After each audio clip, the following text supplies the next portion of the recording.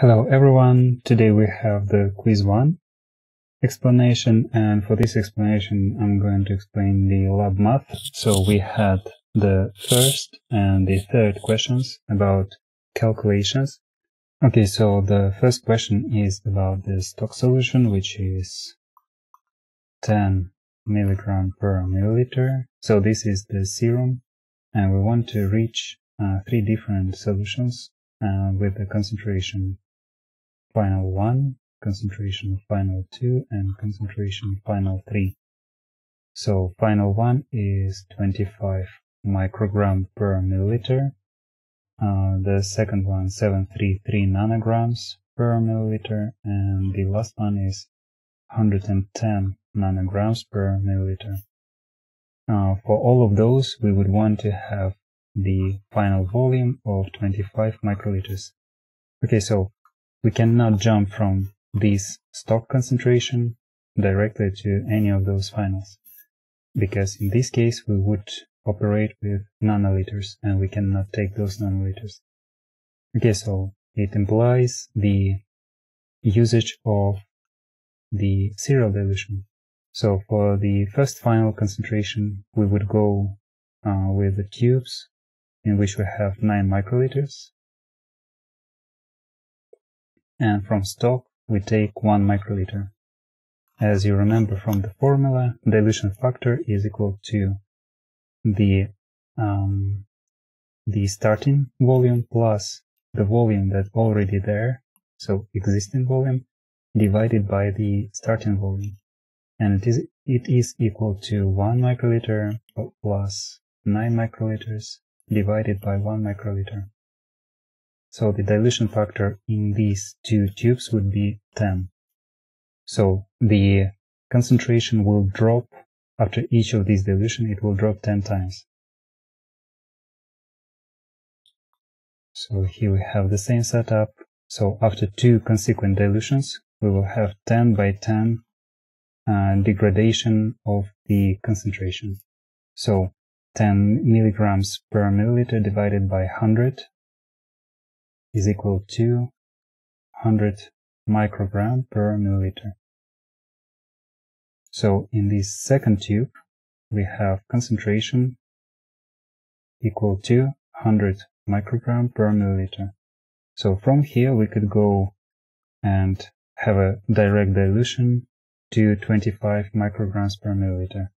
So how do we do that? We do it from the formula which is C2 V2 equals to CF1 times VF. VF is 25 microliters, CF1 is 25 microgram per milliliter, C2 is 100 microgram per milliliter. So we need to find V2 which is 25 microliters times 25 microgram per milliliter divided by 100 microgram per milliliter. So it is equal to both of those, they cancel each other, and here we're left with 1 fourth. So 25 divided by 4 is 6.25 microliters. So the final dilution for uh, for the first concentration, it will be getting the third tube so 25 minus 6.25 is equal to 1875 mic um, microliters of the solvent and 6.25 microliters of the uh, content of the second tube. So if we have 625 microliters, um, carried from the second tube, it will give us the needed concentration here. So here we uh, we have finished with this guy. Now let's switch to the next one. So let's say we have the same setup. So the first tube, the second tube, we have 9 and 9 microliters. So from stock, we get 1 microliter then the consequent dilution is 1 microliter again. So in the second one, as we know already, it is 100 microgram per milliliter. But we need to reach uh, 703, uh, 733 nanograms per milliliter, which is less than 1 microgram per milliliter. So we need to dilute this second tube twice more with the same setup to reach the needed 1 microgram per milliliter. So 1 microliter here and 1 microliter here. In this case, after we, we've reached uh, the fourth tube, the concentration of the fourth tube would be equal to 1 microgram per milliliter. Or, in other words, it's 1000 nanograms per milliliter. Okay, so we have 1000 nanograms per milliliter and if we want to reach three, uh, 733 nanograms per milliliter, we can do it directly. So from here, we have again C4V4 equal to CF2 times VF. In this case, V4 is equal to 25 microliters times 733 nanograms per milliliter divided by 1000 nanograms per milliliter. So these nanograms per milliliter, they cancel each other and we're left with a simple calculation here. So let's see how much is that. So 733 divided by 1000 times 25. It is 18325. 18 microliters and 325 nanoliters. So um, this is how much we want to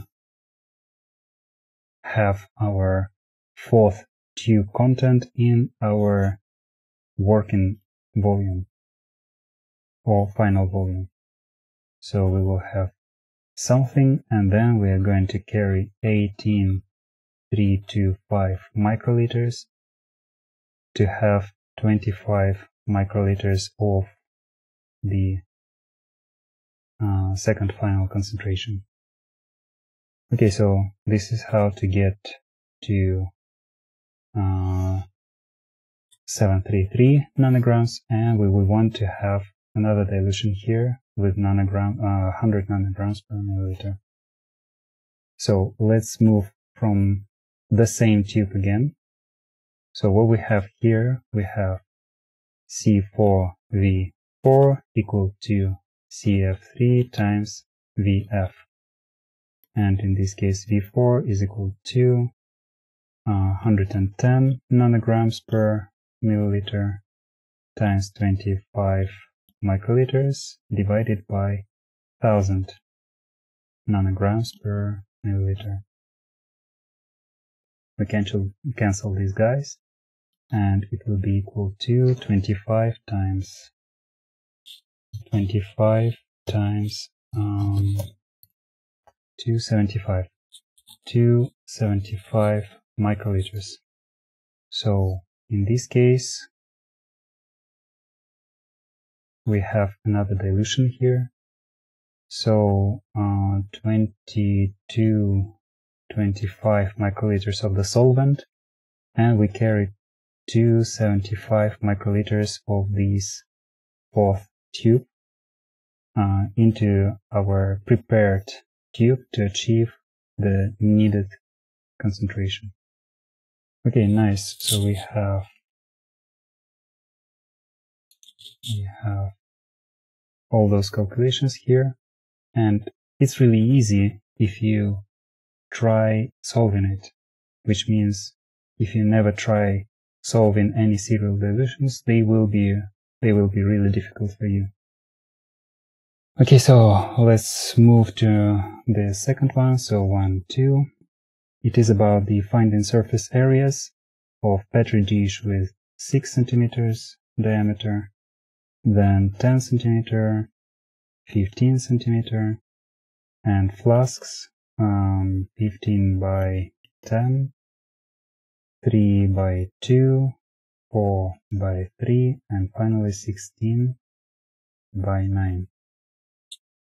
So you know that we have the surface of the circle, uh, which is pr squared.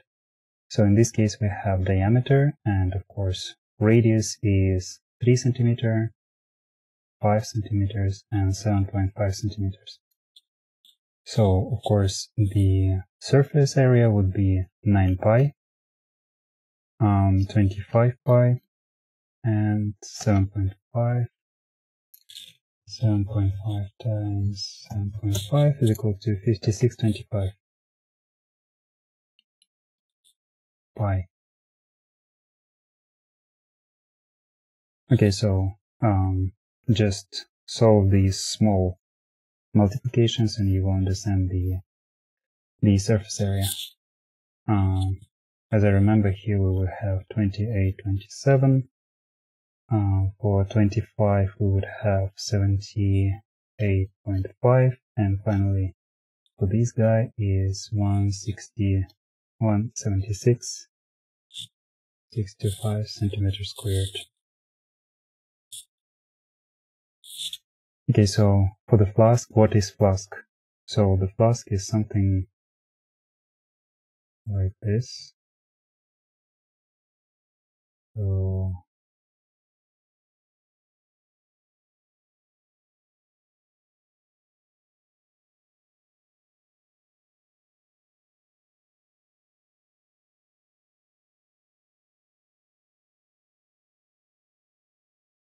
Okay, so um, it is actually a real rectangle. So here we have the widths and here we have the lengths, which means the surface area is equal to widths times lengths.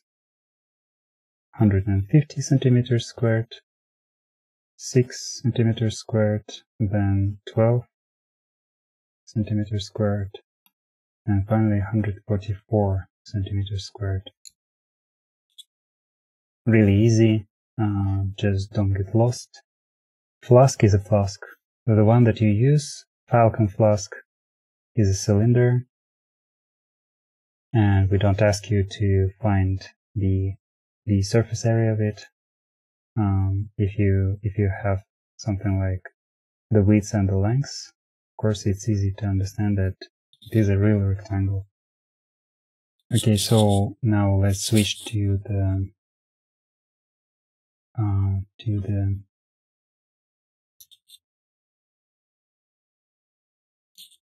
uh, counting of the cells. Okay, so here on this slide we have uh, the dead cells, which are shown like this.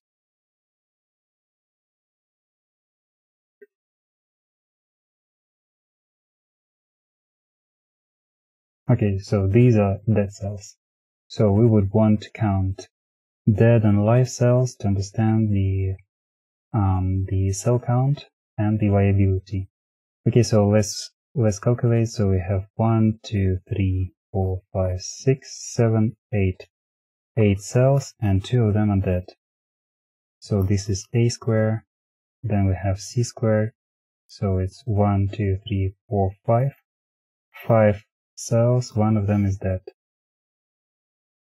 1, 2, 3, 4, 5, 6, 7. Uh, so A, B, C, D, E. E square is uh, 7 cells, 2 are dead.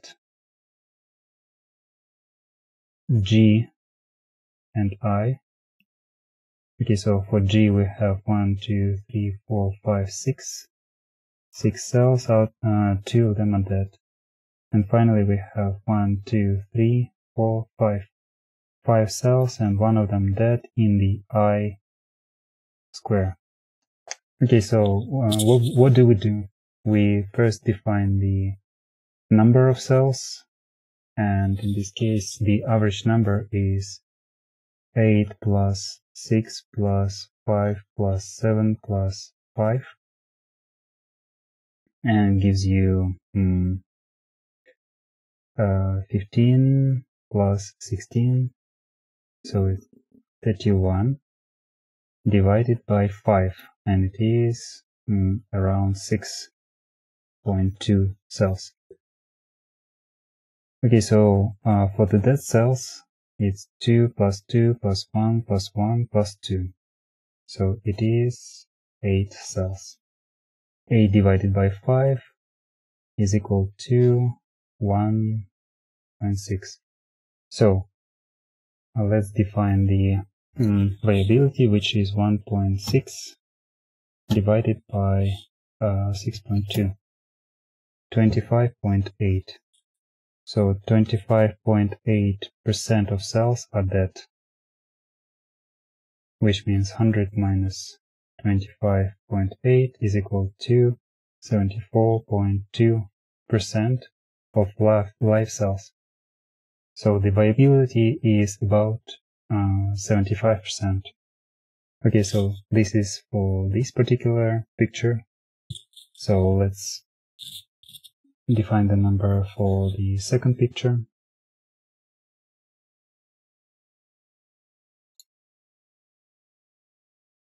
So in this case we have dead cells, 1, 2, 3, 4, 5, 6, 7, 8, 9, 10, 11. 11 dead cells. So for the first square we have 1, 2, 3, 4, 5, 6, 7. 7 cells. 1, 2, 3, 4. 4 cells for the uh, third square. Then for the fifth one, 1, 2, 3, 4, 5, 6, 7, 8, 9. 9 and 1 is dead. 1, 2, 3, 4, 5. 0 dead. 1, 2, 3, 4, 5 one that okay so the number of cells uh, average number of cells is 7 plus 4 plus 9 plus 5 plus 5 for the dead cells we have 0 plus 0 plus 0 plus 1 plus 1 okay so we have uh, the division by 5 because we have 5 uh, 5 squares. And in this case we have 2 divided by 5 is 0.4 and for the total number of cells we have uh, 14, 18, uh, 25, 30, 30 divided by 5 is 6. So the viability is of 5.6 divided by 6 and it is equal to 93%. Okay, so the viability is 93%. So this is the end for the first question, and now let's switch to the question number three. You have T75 flask, and it is 70% confluent. So 75 means that we have 75 centimeters squared uh, area for this flask and 70% of this area is occupied by cells. Okay, so we have the experiment in 48 hours. So here we have 0 hours, and the doubling number is 16. So 16, 32, and then we have 48. So we have three full divisions of the cells.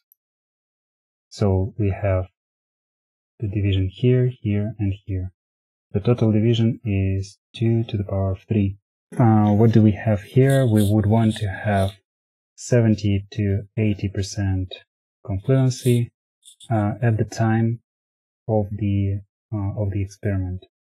So now we are seeding them 70 divided by 8 or 80 divided by 8.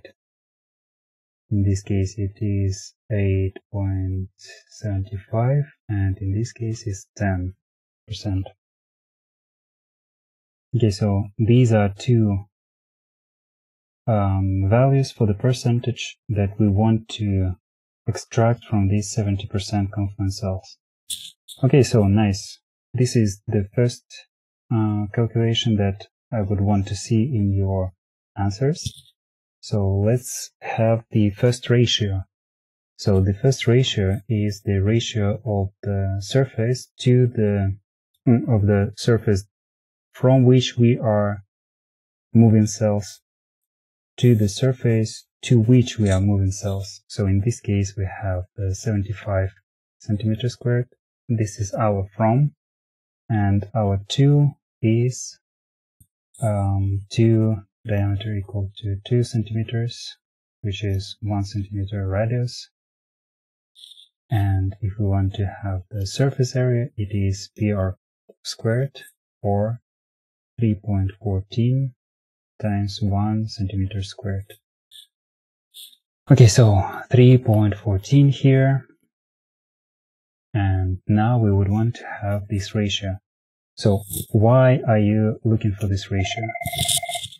So why would you want to have this ratio? Because if you just seed um, these cells to your um, new area, they will be overgrown from the start. So you would want to see them from 75 to 75.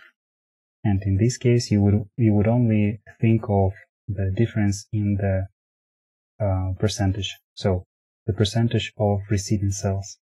But when you have difference in the surface areas, you have to think of this ratio of areas too. So in this case, we are moving from bigger plate to a smaller plate, which means that uh, 3.14 uh, divided by 75. Okay, so in this case, this ratio would be equal to 75 divided by 314, 23, 89. 1 over 2389 So if you take this particular ratio of your cells, they will be um, 70% confluent on your new wells. Okay? So, if you just take this ratio to the new, uh, to the new plate, they will be 70% confluent from the start, which is not what we want. Okay? That's why this is your first ratio. Now let's find the second ratio. So, instead of 70%, you would want them to have 8.75 or 10%, which means that the new ratio is 875% to 70 or 10% to 70. Why 70? Because this is what we have now. And what we want is 8.75 or 10%. Okay, so this guy would be equal to 70 divided by 875 is 8. So 1 eighth or uh, 1 seventh. Okay, so um, this is the second ratio, the ratio of confluences. Okay. So having these ratios, we now might um, receive the cells in a way that we obtain either 70 or 80% confluency after 48 hours of growing. Okay, so what we do, we take this T75 flask, we take 2389 times 8 or T75 2389 times 7. So if we take these ratios, then we would achieve um, the 8.75% confluency at the start in our 2 centimeter diameter wells or 10% confluency at the start. Okay, so what do we what do we know about these guys?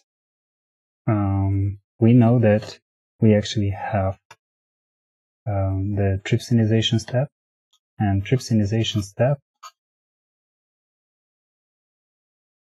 Okay, this trypsinization, it includes first incubation with trypsin, then we have the addition of CDMEM, and after we neutralize the trypsin, we count the cells. And if after trypsinization we have some kind of number, in which case we have um, 250,000 cells per milliliter uh, concentration, it is only possible if we already added the CDMEM. And we know that it is 3 milliliters. So this is 3 milliliters. What, what it tells you? It actually tells you that all of the cells that were in this T75, they are within these 3 milliliters. Okay, now it's really easy. Uh, what do we need to take uh, from these 3 milliliters and move them to our 6 well plate uh, is 3 milliliters or 3000 microliters divided by 2389 times 8 or 3000 microliters divided by 2389 times 7 and this will give you how much microliters we actually need to transfer to our 6 well plates. Okay, let's calculate it.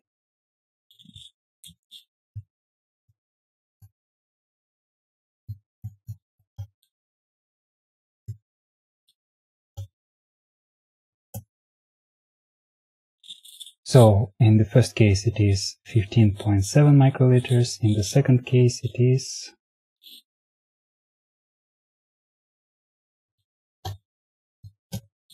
um, 1794 microliters.